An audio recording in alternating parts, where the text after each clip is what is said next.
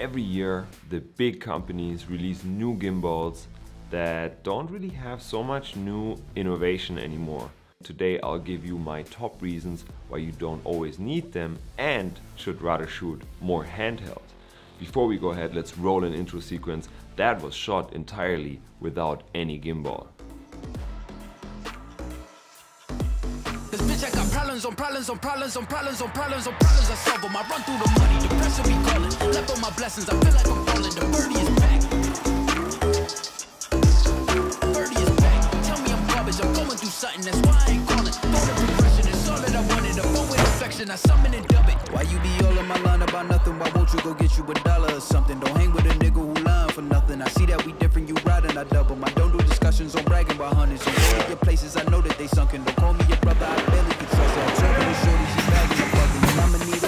Dollars on so hand me the money, I divvy the pie. So first let me tell you a few reasons why I think gimbals are not the coolest thing anymore. Reason number one, gimbals are pretty inconvenient. They have a pretty awkward shape and it takes extra time to set them up. That's why I try to avoid them while traveling because I end up not using them nearly enough and then I just haul around an object that, you know, adds extra weight to my camera bag and so on. Reason number two, stabilization got way, way better. Nowadays the new devices have such amazing stabilization, it covers most of the basic shots that I like to do normally. So overall I feel that gimbals are a little bit like 2017 now and it seems like the great period for that kind of product is maybe over. So I think the trend has reversed and people now prefer to include more handheld footage that looks kind of deliberately shaky. So if you feel that handheld looks more organic and real and kind of want to deliberately create the shaky look, there are a couple of ways to pull that off. Number one is quite obvious. You simply turn off the stabilization on your camera and lens and stop using a gimbal. A lot of people also like to use these top grips so your camera becomes a little bit heavier, behaves more like a rig. I personally don't really own one of those as I don't really find them necessary to be honest. Before I tell you my tricks to get smooth footage without a gimbal, let's talk about a digital way to emulate camera shake and that is by using a preset in post-production.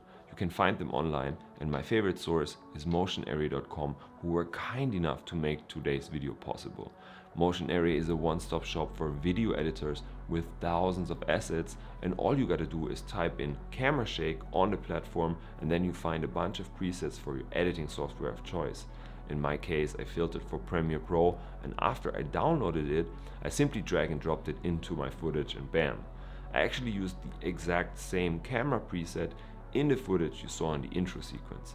But Motion Array has a lot more than that, such as music, sound effects, color grades, film grain, animated text and so many more cool things. In fact, the entire intro sequence that you saw was edited purely with Motion Array assets and a subscription is also quite affordable. It's an all-you-can-eat platform. That means you pay once and then you can download unlimited editing assets. If you choose the annual plan, it will cost you about 20 bucks, which is less than a price for a single preset. Plus, if you use the link below the video, it knocks off additional $50, so feel free to check it out.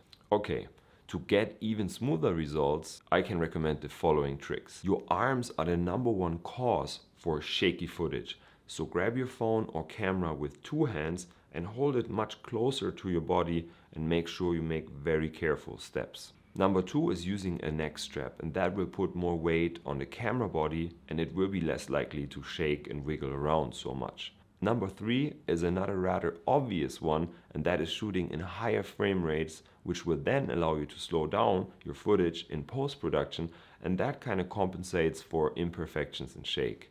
If you still end up with subtle shake, don't worry about it. You can iron it out in post-production using the warp stabilizer effect in Adobe Premiere Pro. Now, I would love to hear your opinion and see if the community still likes gimbals or now prefers the handheld look. Please do let me know in the comments below and check out Motion Array. And if you want to hang out here on the channel, you know what to do. Can do so by hitting the subscribe button and enabling the bell, but you don't have to, it's your life, you can do whatever you want basically. Don't let any YouTuber tell you what to do.